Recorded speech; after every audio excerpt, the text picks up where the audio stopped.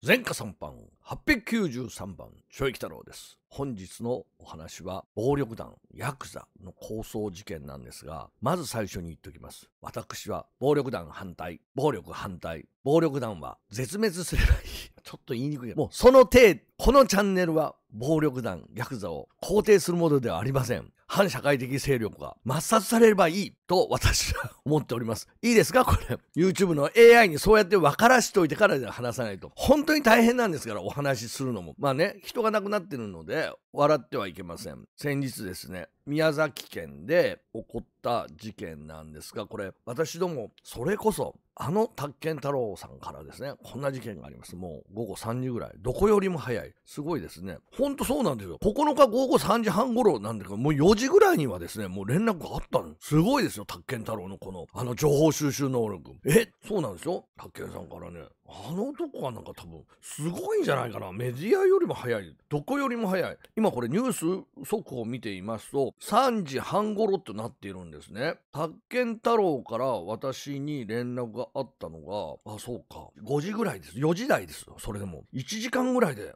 すごいですね。もうその時には、池田組支流会の、もう名前も分かってます。幹事長の方が心肺停止らしいです。もう4時台には連絡来てるんですね。は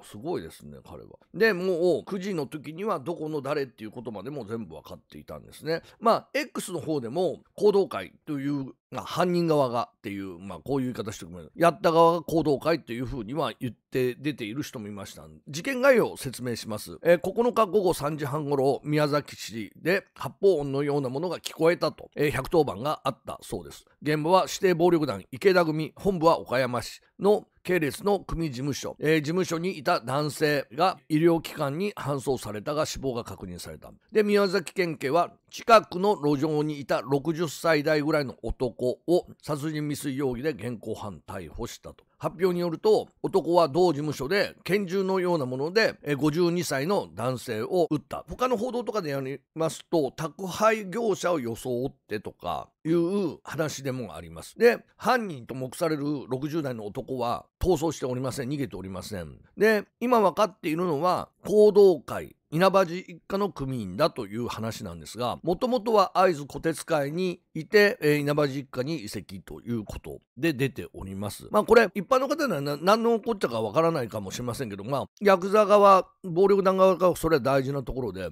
何々組何々会じゃなくて何々一家だったりその3次団体4次団体にどこに所属しているかっていうことが非常に大事なものですからそこによってその背景が見えてくる。でもう一つはこれが支援によるものか。要するに私事の恨みとかそういうことでこの犯行を行ったのかそれともそうでない場合。ただまあ当然行動会なのでこの神戸山口組池田組絆会側には大きな打撃を与えておりますし池田組に関しては何人かそのような、被害を受けているわけです。そういうような意向を受けて組織の意向を受けてなのか自分でそう走ったのかってここが大きな問題になります。相手が死んでおりますので組織犯罪処罰法という形にもなりますし1000回行動会直参組長神戸のねラーメン店経営の組長会長が射殺されたのがその絆会金沢若頭ということが分かっております。そのグループ。それに対しての報復なのか。絆会というところがどうなってるかというともともと山県組神戸山口組山県組から離反して今は一つの単一の組織となってますがその庇護をしているのが池田組池田組長ではないか。事務所を担保にしてて1億円余りの融資ということがもう明るみに出ました。まあこれはこれ明日別で話しますけどもこれは事件にはなっていない。でも今までどういう関係だったのかっていうのは我々知らない人には池田組と絆会どうなんだろう。なんか聞くところによれば岡山の方にいるんじゃないかとか池田組と非常に近いと。でもそれはお金の関係だったから。まあそれとも単純に意気投合して資金的なことがあるからそういう風にしてお金を融通していたのか。でここが逮捕されたところを皮切りにえ金沢若頭の組織犯罪までこれ小田会長池田組長まで行くんじゃないかっていう風に我々は見ていたんだけどまあ池田組長にその網がかかるのはちょっと無理筋があるかなと思っていたんだけど金沢若頭がやったことに対してそのすぐ上の会長絆会会長小田会長は何事もなかった証拠不十分ということになっているっていうことですね。でそんな状況で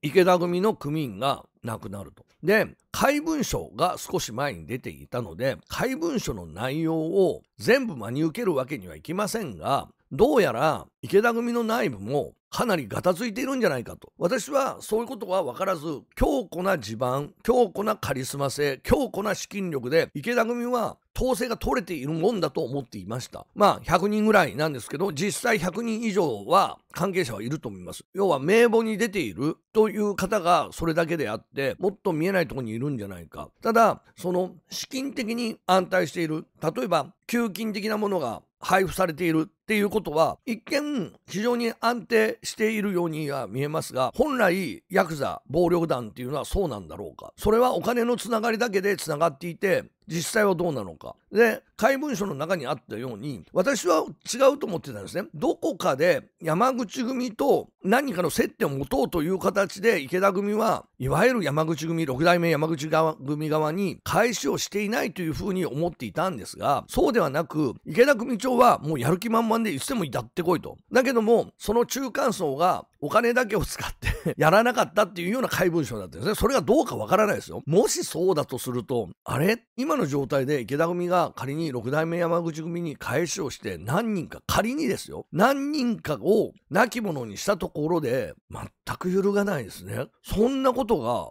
わからないはずがないのでそれは違うんじゃないかと私は見てます。さあここで池田組の関係者。まあ池田組のから見たら直系の組員ではないだけどもこういうことがあった時池田組としてはどう対応するのか本来であるならば稲葉実家にいやちょっとねそれは難しいんじゃないでしょうか。まあいろんな意味で ちょっとね報道界の中にも高山組野内組稲葉実家って言ったらちょっともう直参クラスというか単独の一本の組織で言っても十分立ち迎えるというか池田組に資金があるというふうに思われていますが稲葉実家でも同等以上の力があるというふうに戦力分布では見ておりますのでさあね。でもう一つ私が思っているのは報道ですね。あまりされてないですね。NHK ニュースとか地方ニュースでいますけども愛知県にいる私にはこれニュースが聞こえてそろそろ来るんだけど相手が亡くなって内容がわからないから報道が薄いのかあるいはこれ暴力団を鼓舞するような報道になってしまうから六代目山口組を応援するようななんかやりましたみたいなことになってしまうから報道しないのかでも殺人事件が起きているのに報道しないのもおかしいのでここはどうなんだろうと。やっぱり今は暴力団ヤクザに対しての報道っていうのは非常にしない経済的な事件になるとするっていうことになってますね。詐欺に加担とか。まあ薬物関係でもいちいち言ってくるのがなんかたまにあるいは大きく例えば何々会とか何々一家っていう出方はしますけど3次団体4次団体までの名前は言わないようになってますねこれは。名前を出すことによってその組を応援するみたいになってしまうっていうことだと思うんですがまあ今回殺人事件、えー、もうこの構想はもう10年なりますが収まる気配はございません。で社会の社会が暴力団に思う風当たりはもう本当に強くもうやっていけないような状態ではありますね。まあそんな中でこんな大きな事件が起こって今後どうなっていくのか。警察のますますの取り締まりの強化と社会的感情は非常に劣悪になってもう悪逆風になってきますね。これで多分おそらく行動会本部稲葉実家本部にガサが入ります。多分愛知県警と宮崎県警合同で入るんでしょうね。だけど誰も住んでない無人の状態ですね。ねえ。もうほとんど愛知県内はほぼ組事務所は使えない状態がもう何年も続いてますし、まあ、特定抗争して暴力団池田組もこれでなっているので池田組もそのような状態になってもう全くこれいい方向にはならないと思いますが一向に収まらないっていうことはねもうこれ単純に井上組長がどうするとかこうするとかいう問題じゃなくなってきちゃってますね。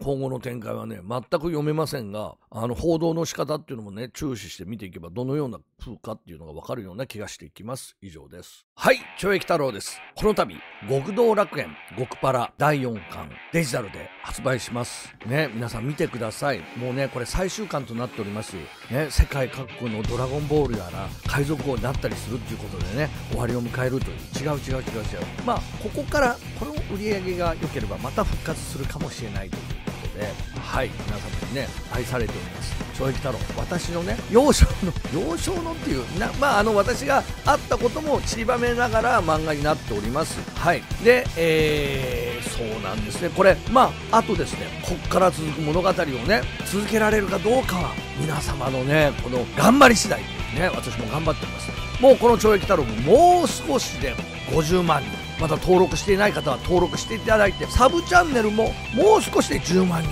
もうこれも皆様本当皆様あっての懲役太郎なのでよろしくお願いいたします。以上です。